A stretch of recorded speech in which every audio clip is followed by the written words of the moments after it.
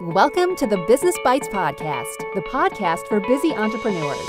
Whether you're an online entrepreneur or seeking after brick and mortar success, this podcast brings you quick bites of content so you can learn and grow anywhere you are. Now, here's your host, Rachel Brenke. Put it all out there. Y'all gotta stop blaming consumer buying patterns, blaming pricing, blaming oversaturation of your industry. Stop blaming everyone else for where your clients and customers will not buy into you. Because I can almost guarantee that there is any issue that you are causing. And that issue is probably the lack of building buyers' confidence. I'm not talking about the warm fuzzies that you, you create with your potential customers or clients through marketing and branding and customer service. I'm not talking about the warm fuzzies.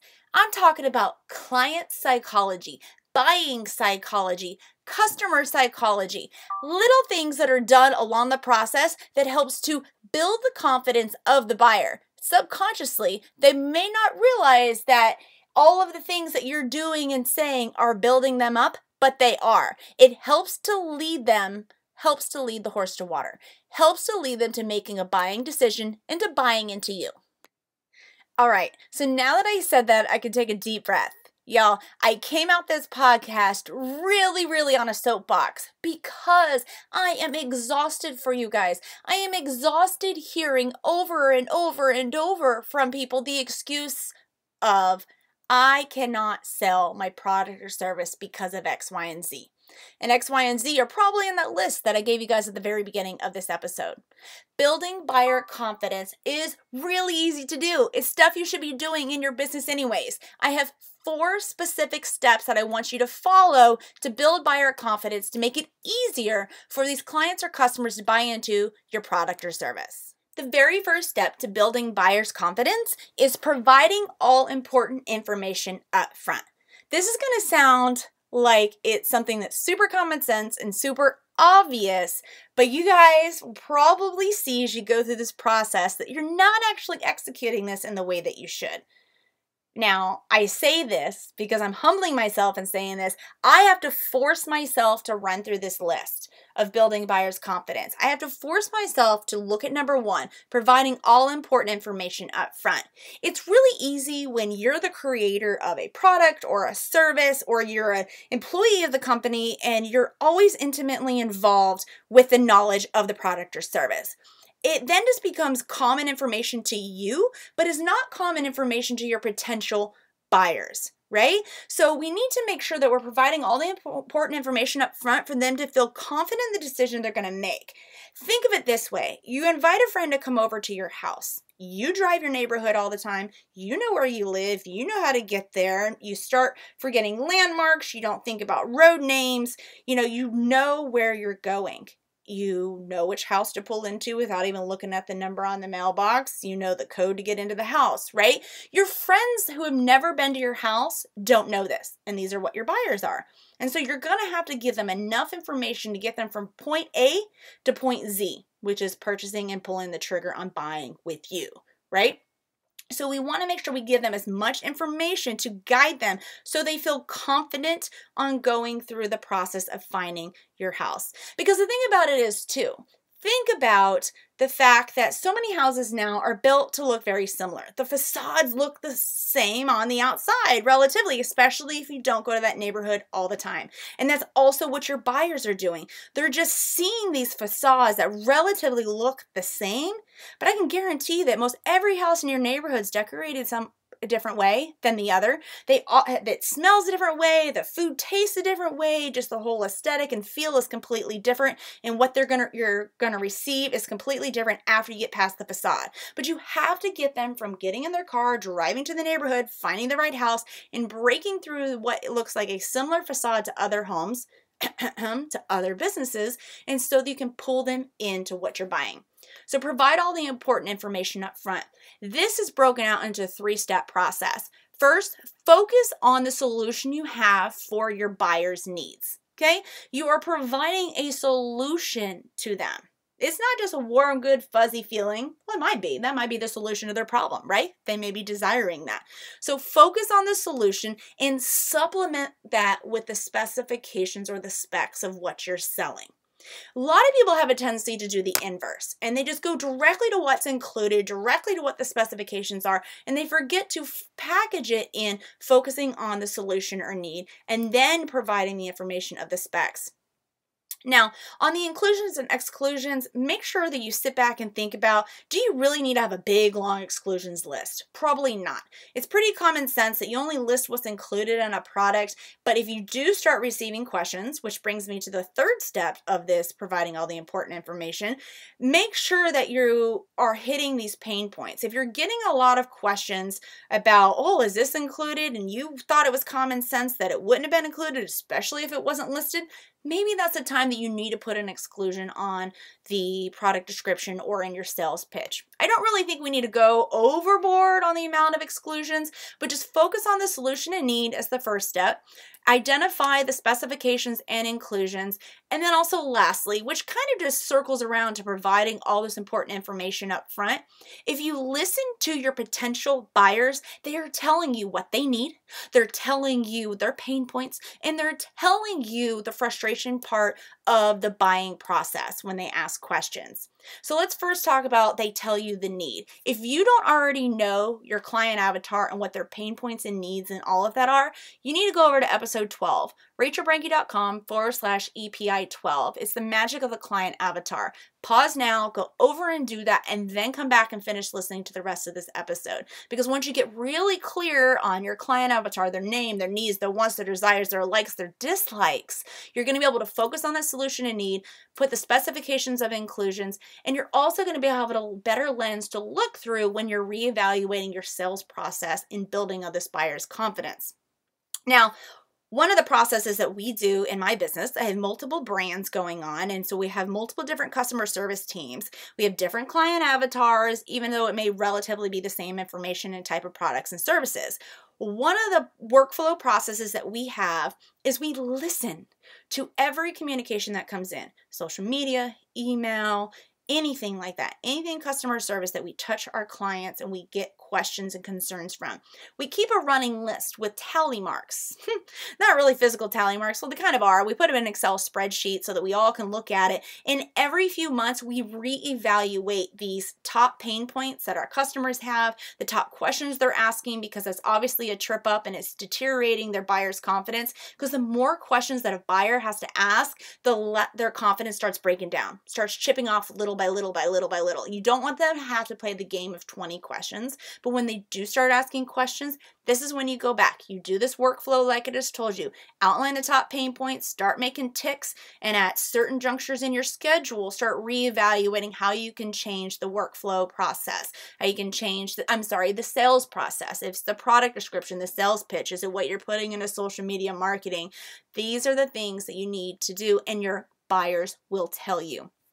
On the flip side, too, it will also give you perfect information for you to be able to put into your social media and blog. If you don't know what to blog about, if you don't know what to put on your social media feeds, listen to the buyers. They're asking questions. They are probably not the only ones with these questions. Turn it into content based, stick it into an email newsletter. It can just give you all sorts of information. And all of this comes out through this process of point number one of building buyer's confidence, which was providing all important information up front, focusing on the solution and need, then supplementing that with the inclusion of the specs, and then go through this process of identifying and re identifying and re identifying, rinse and repeat. Number one never ends. You always need to be changing and improving whether it's your sales pitch, your social media marketing, or your product descriptions. No matter what industry you're in, brick and mortar, online, need to be focused on number one, providing all the important information up front, always needs to be reevaluated. Number two, in building buyers' confidence, testimonials and social proof. I really don't need to say much more, I think, than that, but I'm going to go ahead and do it for you guys. testimonials and social proof in this day and age of online reviews and online accessibility, where's everybody going? They don't really start Googling off the bat. They might, but it's almost always paired with reading of testimonials or social proof recommendations from other people. Include reviews on all of your products, include testimonials on all your websites, sprinkle testimonials into your social media feed. And in fact, as I'm sitting here, I'm thinking, I am giving you guys the outline of your, well, we're going to go through four points, right? So we're on point number two. This is number two in your social media feed. You, I'm going to give you one, two, three, four. Then you can go one, two, three, four. Your whole IG feed is going to be filled up right then. Instagram feeds, uh, Facebook, Twitter. Go put something for number one, number two, number three, number four, and just rinse and repeat it all around. That will be hitting testimonials and social proof out there. I am going to throw a little tidbit about out here about marketing please do not incentivize testimonials and social proof reviews with like discounts or free products. If you do that, then you have to disclaim next to the testimonial and social proof every time that it's used. Oftentimes, it's just easier to ask for the testimonials and social proof and then reward your customers afterwards. You don't have to attach the testimonial incentive to it. That's an FTC regulation. Just keep that in mind. Number three on building buyer confidence. This is the number three point is I highlighted as credentials, but you could almost put what your mama says about you, right? If no one else in the world is going to talk about you, hopefully it's your mama who's going to talk you up. You need to be talking you up because your mama's probably not using your Instagram feed to sell your product. Your mama's probably not on your Twitter there in order to talk about you to sell your service, right? So you need to talk about your credentials. And this is very difficult for people who don't like to talk about themselves. This is very difficult for people who don't want to come across as arrogant. You know, you can be humble and still talk about your credentials and your qualifications and talk yourself up because if you don't do it, who else is going to? And if you don't repeatedly keep that into this workflow and this social media flow with all of these points to build buyers' confidence, your customers are not going to have that confidence built up.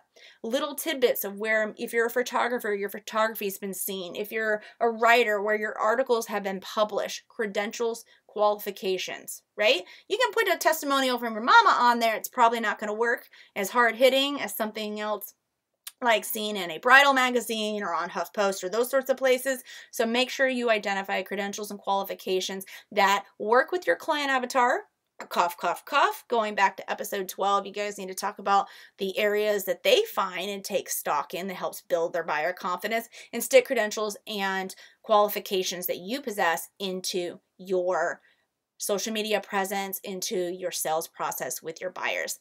And number four of building buyers' confidence, creating a connection between you and your brand. Number three was also about us, but that was more like, oh, I have this degree, I have that licensure, I've been published here, I've done that.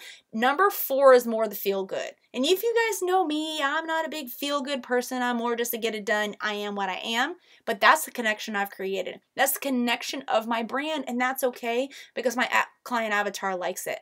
So create a connection with you or your brand where you don't talk about yourself at all in your um, social media marketing in your sales process. Sounds completely counterintuitive because number one, providing all the important information up front was talking about your products and service. Number two, the testimonials and social proof was third parties talking about you.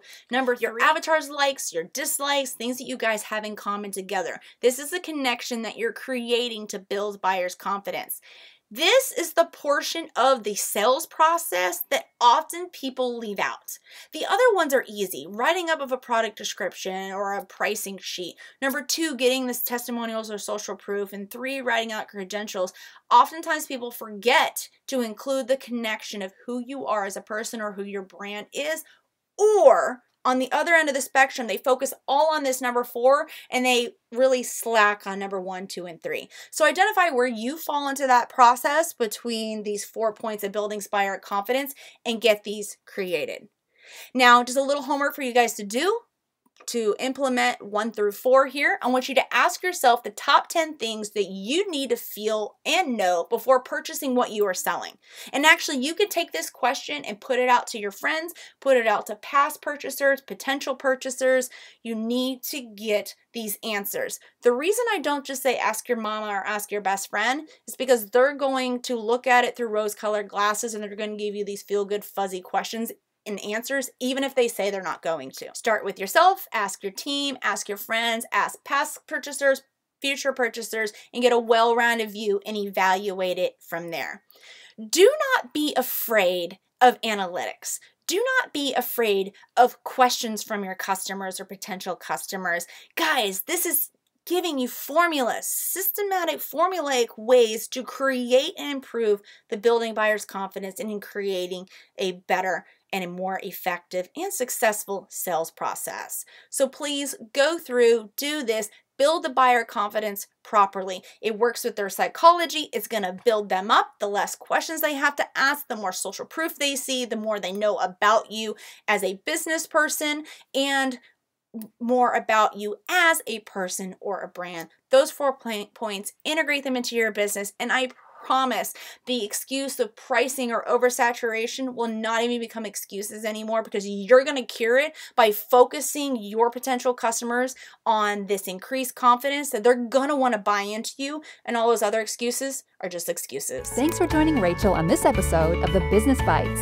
For show notes, a list of recommended tools, or referenced episodes, you can find them at businessbitespodcast.com. Until next time.